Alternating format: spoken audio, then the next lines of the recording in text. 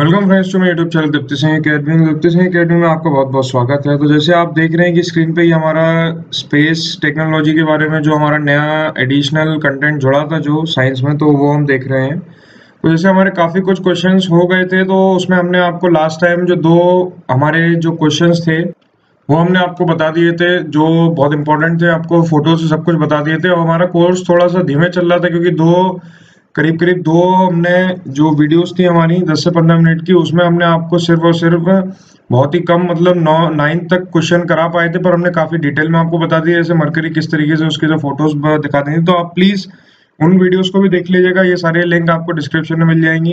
अब हम जल्दी से हमारा जो दो से तीन वीडियोस अब क्विक वीडियोस आने वाली हैं कि इनमें आपको जल्दी से सारी चीज़ें जितनी इंपॉर्टेंट है, सब आपको वो दिखेंगी। तो चलिए क्वेश्चन देख लेते हैं। इसके बाद फिर हम दोबारा से फ़ोटोज़ और वीडियोस के संग हम आपको पढ़ाना चालू कर देंगे।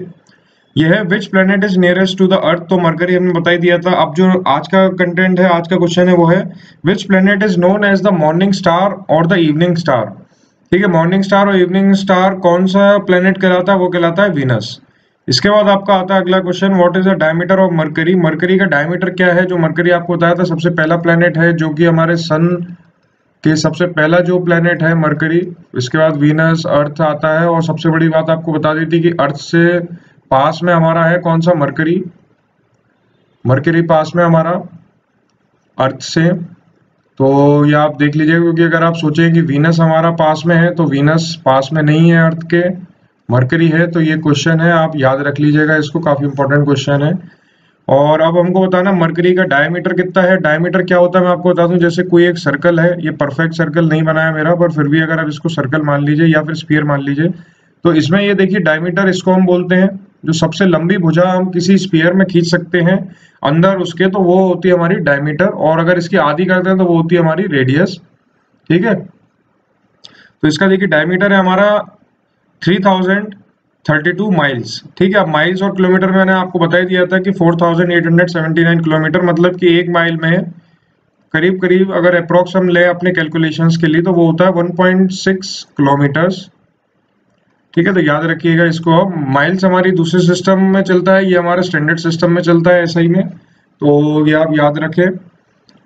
इसके बाद आपको जो नेक्स्ट क्वेश्चन है, वो देख लेते हैं हम।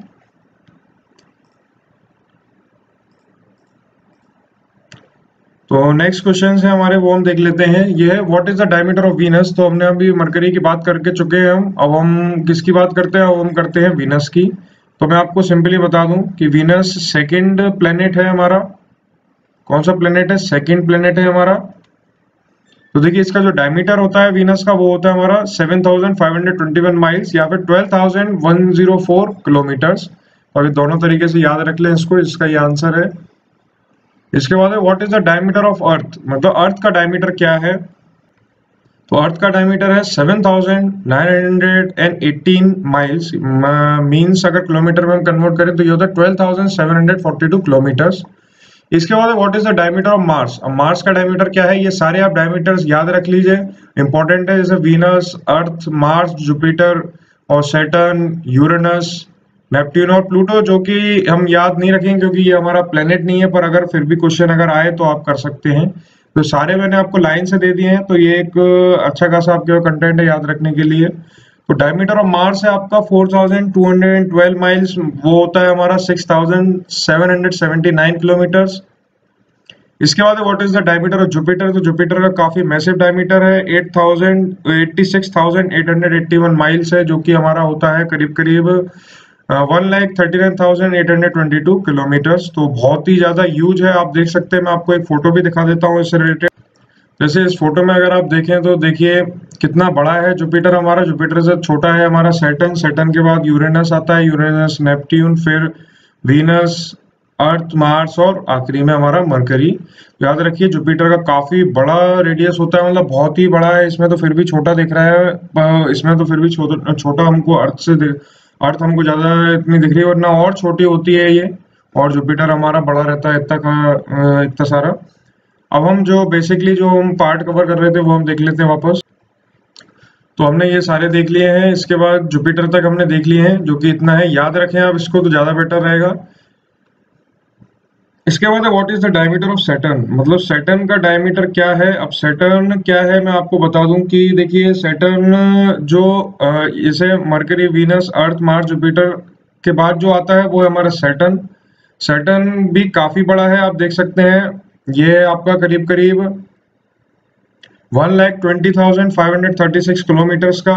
तो आप इसको कंपेयर कर सकते हैं। जुपिटर तो जुपिटर से थोड़ा सा छोटा है और जुपिटर के बाद हमारा सैटर्न ही आता है। इसके बाद आता है हमारा यूरेनस जो कि हमारा thirty one thousand five hundred eighteen miles तो आप कर सकते हैं। आप जैसे इसमें अगर आपको माइल से नहीं दिया है तो आप इसको किलोमीटर को मतलब ये जो हमारी यूनिट है, इसको आप डिवाइड कर लें। किससे? आप डिवाइड करेंगे 1.6 से तो आपका ये किसमें आ जाएगा? आंसर हमारा ये आ जाएगा माइल्स में।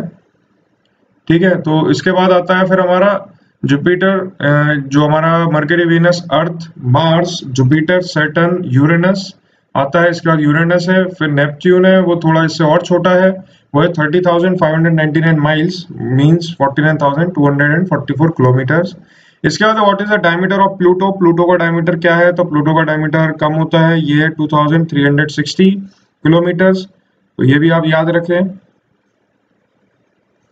What is the largest planet in our solar system solar system का सबसे लार्जेस्ट प्लेनेट है हमारा जुपिटर तो आप ये याद रखें जुपिटर का मैंने आपको देखिए रेडियस भी बता दिया था तो ये इस तरीके से क्वेश्चन आपके पास आ जाएँगे। अब आपको अगर पता हो कि रेडियस जुपिटर का इतना ज़्यादा होता है तो आप डायरेक्ट ये वाला क्वेश्चन भी कर सकते हैं। इसके बाद है which planet has the most moons ठीक है मतलब किस प्लेनेट के सबसे ज़्यादा मून्स होते हैं? आप देखिए अर्थ का जो है, वो तो एक ही मून है, अगर आप देखें तो एक ही मून है। अब अगर आप देखें कि जो किस प्लेनेट के सबसे ज़्यादा मून है तो वो है हमारा the planet which with the most number of moons है जुपिटर दैट इज़ 66 मून्स अब आप देखें 66 मून्स किस तरीके से है, क्योंकि चाँद तो एक ही होता है। अब देखिए मैं आपको बताऊँ कि कि देखिए जो जो सैटेलाइट्स होती हैं, दो तरह की सैटेलाइट्स होती हैं। अब सैटेलाइट से आप क्या समझते हैं? सैटेलाइट से आप समझते हैं कि जो जो अंतरिक्ष यान अंतरिक्ष में जाने के लिए जो जो लेके जाते हैं एस्ट्रोनॉट्स वगैरह को तो जिसमें वो जाते हैं, उसको हम बोलते हैं वो रॉकेट और ऊपर जो होता है, वो होता है हमारे सैटेलाइट्स अब सैटेलाइट्स क्या काम करते हैं? ये पूरे अर्थ को कवर करते हैं.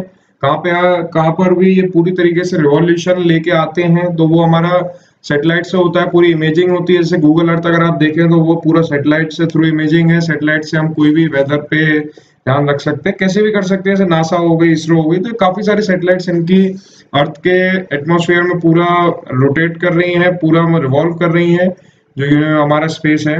अब अगर आप देखें तो इसमें एक और ध्यान देने वाली बात है कि सैटेलाइट्स दो तरह की होती हैं, एक नेचुरल सैटेलाइट और आर्टिफिशियल सैटेलाइट और एक होती है हमारी आर्टिफिशियल सैटेलाइट